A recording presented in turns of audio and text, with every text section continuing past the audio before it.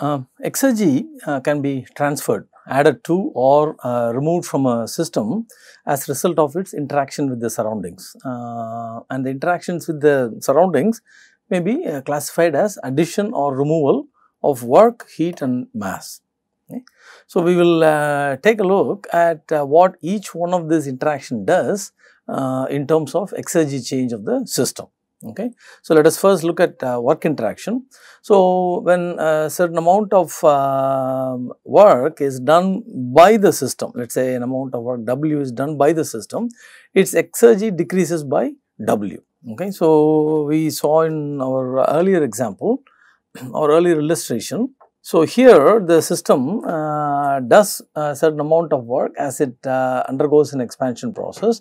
So, as it does work its exergy decreases because it is doing uh, work by um, raising the mass. Okay. So, as the system does work its exergy decreases by how much ever uh, work it uh, puts out. Okay. So, so, if a system does an amount of work W, its exergy decreases by uh, exactly that same amount. And when an amount of work W is done on the system, its exergy increases by the same amount W. Since exergy is work, work transfer to a system uh, or from the system uh, can be easily uh, converted to or can be directly converted to exergy change. Okay. Now, uh, addition or removal of mass uh, to a system or in a device also causes an exergy change. Okay. So, let us say that we have um, uh, a certain amount of mass with a specific exergy phi. Then if I add uh, that that much amount of mass to the system, let us say m to the system, then the exergy of the system increases by an amount equal to m times phi. Okay.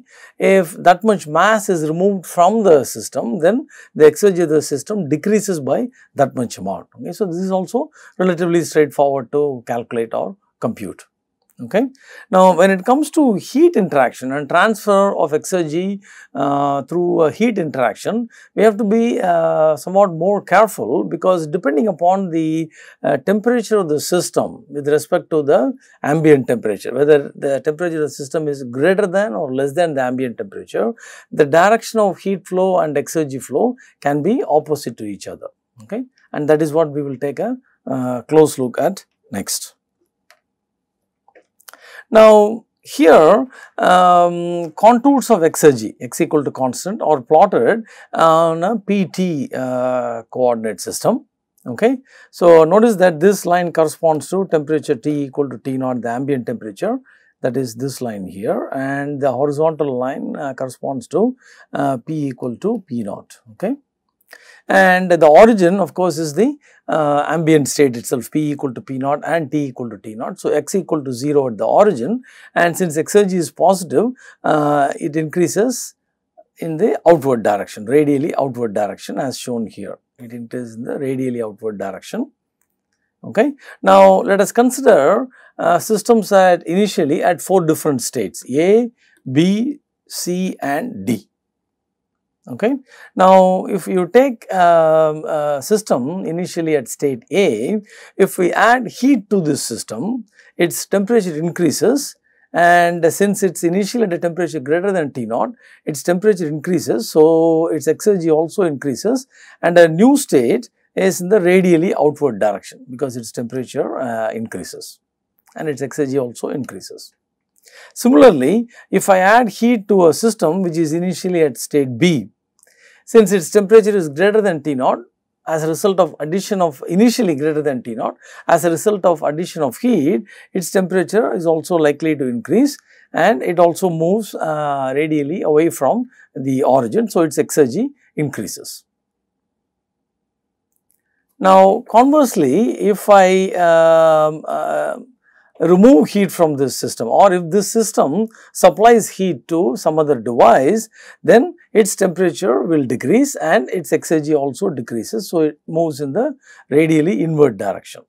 And the same is true for this uh, system also which is initially at a temperature greater than T naught. Now, if I uh, if I look at uh, the systems which are initially at uh, states uh, C and D Now, temperature of system C initially is less than T naught. If I add heat to the system, then its temperature uh, increases and as a result, it moves towards the origin like this. So, its exergy actually decreases. If I supply heat to this system, then its exergy actually decreases. In contrast to systems which were initially at states A and B. Similarly, since uh, the system at state D is initially at a temperature less than uh, T naught, if I supply heat to this system, its temperature increases and consequently it moves towards the origin. So, its exergy decreases. Now, conversely and uh, quite unintuitively, if I remove heat from this system, its temperature decreases and the state point moves radially outward and as, a result its exergy also increases. Remember exergy increases in the outward direction as shown here. So, when the state point moves away from the origin uh, the exergy of that state point is higher. So, the exergy increases in this case when I remove heat from this system. Similarly, for the system which is initially at state D, if I remove heat uh, from the system, its exergy actually uh, increases. Okay, so you can see that the direction of heat transfer and uh, exergy, uh, exergy transfer or opposite uh, depending upon whether the uh, temperature is uh, greater than T naught or less than T naught. Okay. So, that is something that we should keep in mind. Let us explore this in greater detail and uh, see what happens to these four in these four situations. Okay. So, let us say that initially we have uh, system which is at a temperature T greater than T naught.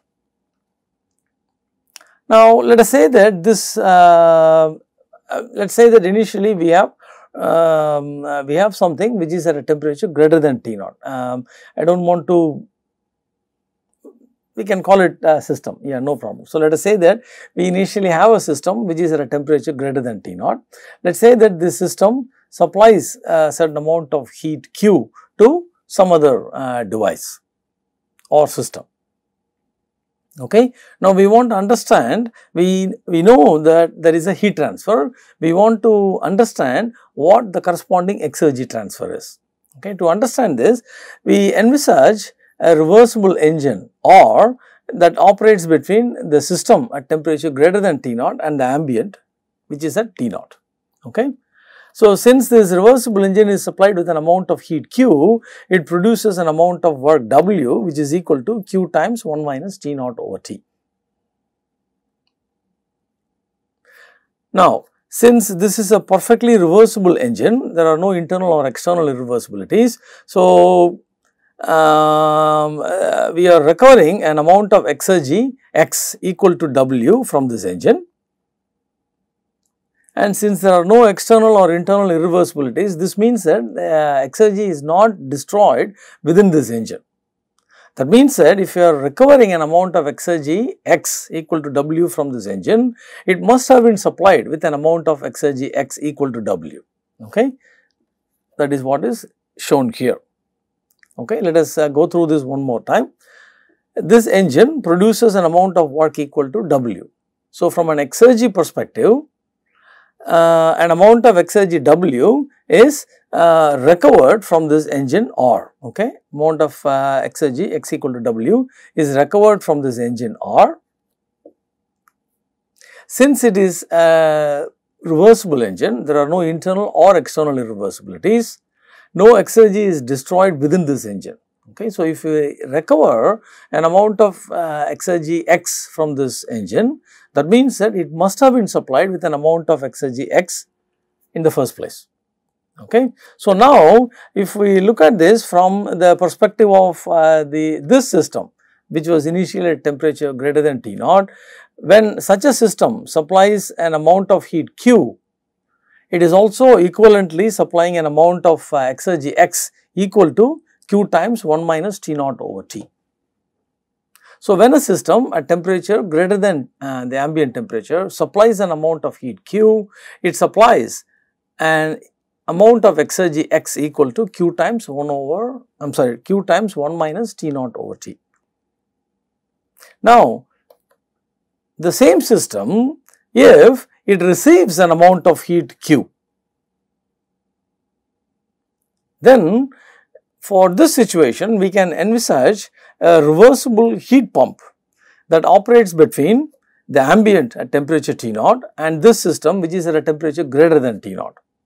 Now, for this uh, um, heat pump to work, we need to supply an amount of work W. Okay, and the amount of for now and the amount of work W may be evaluated like this. So, for this reversible heat pump to reject an amount of heat Q to this uh, to this system, we can evaluate the amount of work that is required uh, to accomplish that. Okay, that is equal to Q times 1 minus T naught over T.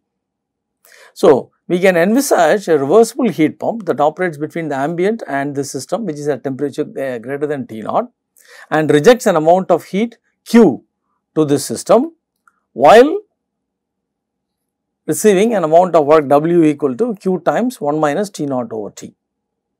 Now, from an exergy perspective, when this engine is supplied with an amount of work equal to W, it is also being supplied with an amount of exergy X equal to W.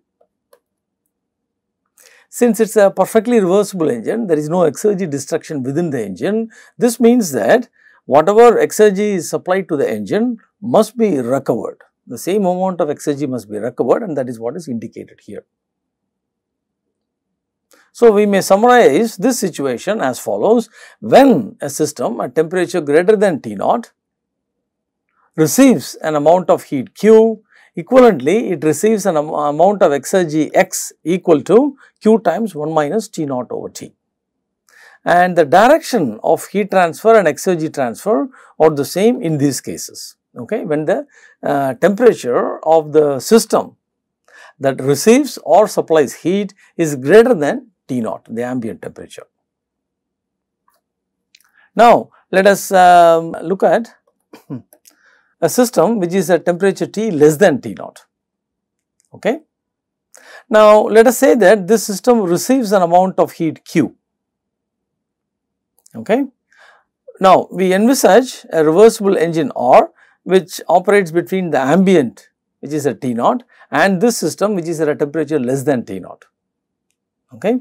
It rejects an amount of heat Q to this system and produces an amount of work W which is equal to Q times T naught over T minus 1. Okay. Now, uh, from an exergy perspective, okay, since this engine produces a certain amount of work W, that means an amount of exergy X equal to W is recovered from the engine. Since the engine is reversible without any internal or external irreversibilities, there is no exergy destruction. Consequently, if we recover an amount of uh, exergy x equal to W from this engine, it must have been supplied with an amount of exergy x equal to W in the first place. That is what is indicated here. Okay. So, let us summarize this in words. When a system which is at a temperature less than T naught receives an amount of heat Q. It is equivalently supplying an amount of exergy x equal to q times t naught over t minus 1. Okay. Notice that the direction of heat transfer and the direction of exergy transfer are opposite in this case. Okay. So, direction of heat transfer and direction of exergy transfer are opposite in this case. Next, same system at a temperature less than uh, T naught. Let us say that it supplies an amount of heat Q.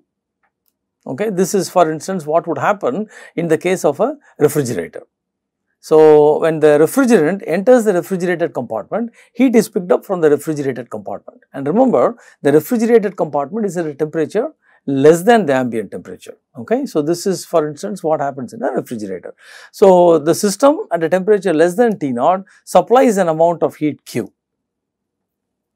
So, I can easily uh, visualize or envision a refrigerator which operates between the ambient T naught and this uh, system which is at a temperature less than T naught while being supplied with an amount of work W which is equal to Q times T naught over t minus 1.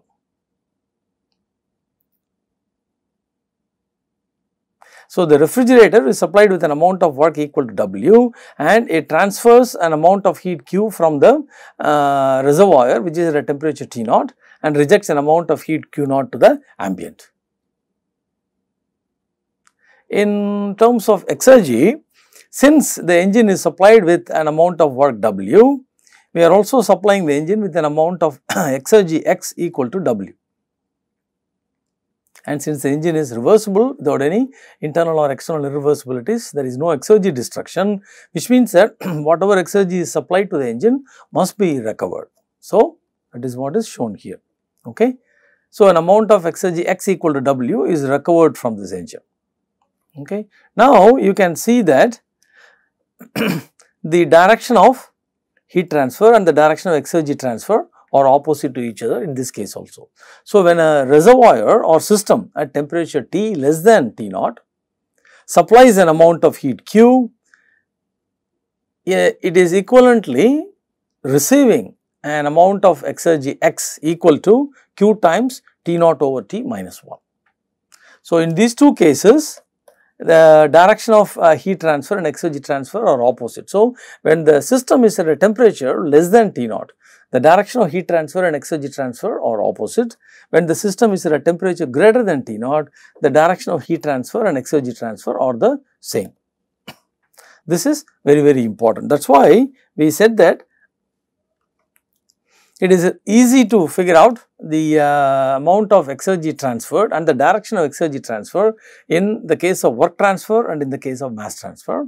Whereas, in the case of heat transfer, the direction of exergy transfer and heat transfer are dependent upon whether the system that is receiving or supplying the heat is at a temperature greater than or less than the ambient temperature.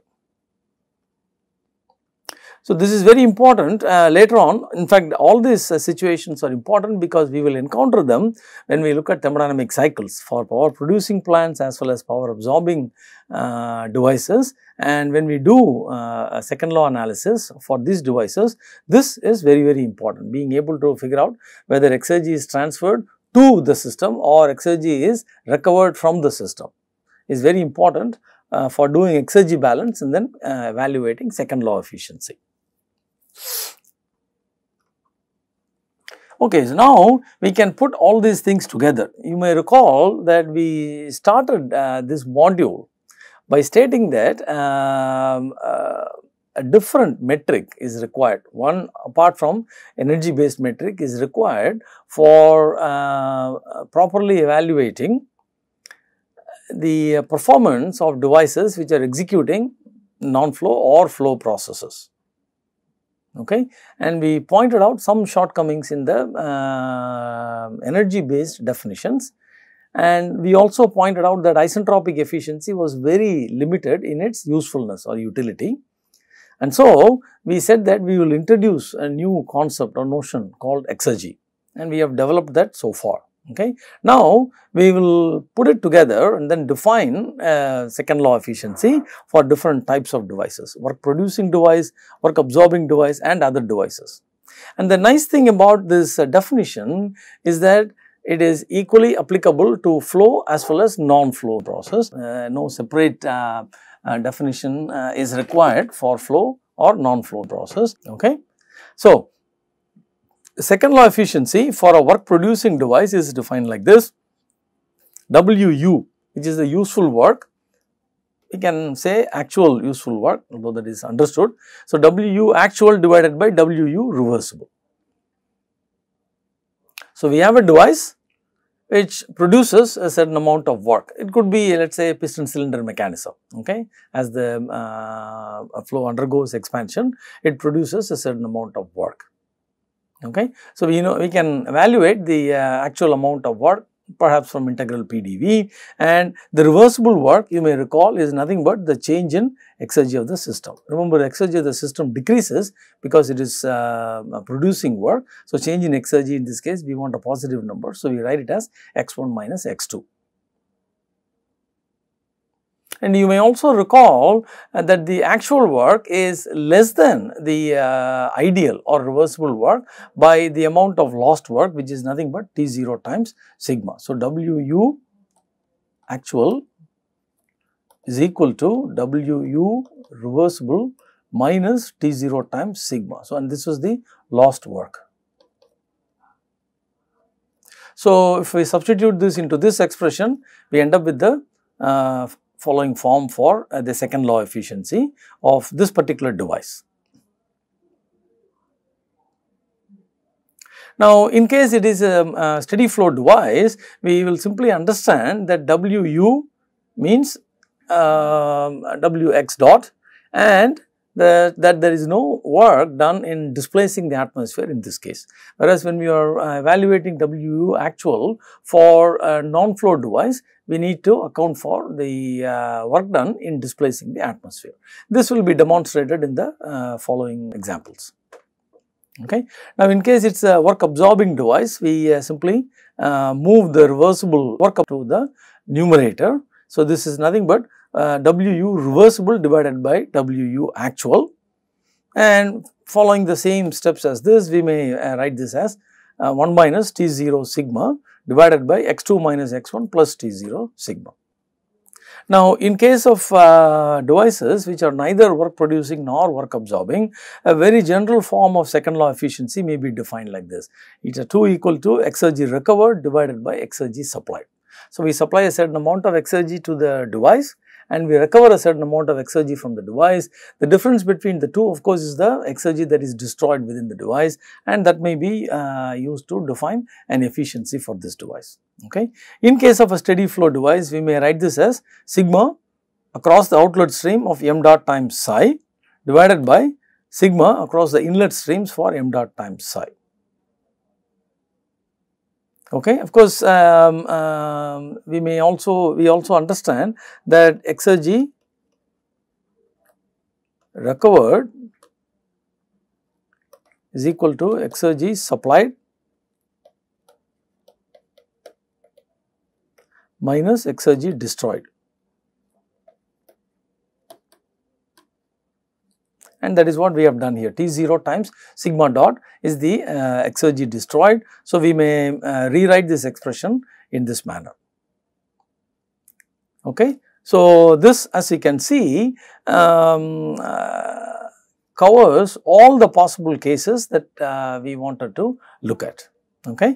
Flow, non-flow, work producing, work absorbing, neither. Okay. So, we can actually calculate a performance metric for any device that we may uh, come up with. Okay. That is the uh, utility of second law efficiency. It is far more general and contains more insights because it takes into account entropy that is generated in the universe as a result of internal and external irreversibilities. Now, let us see how we calculate um, second law efficiency for the examples that we worked out in the previous course, where we actually did a first law analysis and uh, we determined say for example um, uh, entropy generated work, intra work interaction, heat interaction and so on. For the same example now we will calculate a second law efficiency.